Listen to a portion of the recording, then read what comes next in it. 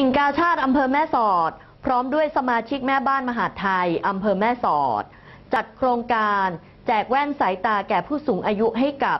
ผู้สูงอายุในพื้นที่ตำบลพะวอค่ะ ที่บริเวณอาคารอเนกประสงค์องค์การบริหารส่วนตำบลพะวอตำบลพะวออำเภอแม่สอด ว่าที่ร้อยตรีหญิงกัญญารัตน์เชียนทานรัก นายกกิ่งกาชาติอำเภอแม่สอด และสมาชิกแม่บ้านมหาดไทยอำเภอแม่สอด ร้อมคณะกรรมการสมาชิกและเจ้าหน้าที่ กิ่งกาชาติอำเภอแม่สอด ร่วมกันออกหน่วยแจกแว่นตาในโครงการมอบแว่นสายตาเพื่อผู้สูงอายุ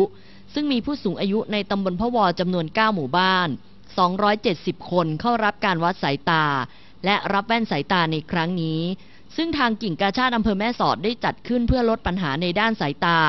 ของผู้สูงอายุให้มองเห็นได้อย่างชัดเจน ให้ใช้ชีวิตได้อยู่อย่างมีความสุขและดำรงชีวิตได้อย่างปกติ ว่าที่ร้อยตรีหญิงกัญญรัตน์เชียนทานรัก นายกกิ่งกาชาติอำเภอแม่สอดกล่าวว่า ทางกิ่งกาชาติได้ตระหนักถึงปัญหาสายตาของผู้สูงอายุ ในพื้นที่ห่างไกล จึงได้สนับสนุนการจัดทำโครงการมอบแว่นสายตาให้แก่ผู้สูงอายุขึ้น เพื่อแก้ไขปัญหาภาวะสายตาเสื่อมในผู้สูงอายุ ด้วยการมอบแว่นสายตา โดยไม่คิดมูลค่าใด ๆ ทั้งสิ้น เป็นการพัฒนาคุณภาพชีวิตให้แก่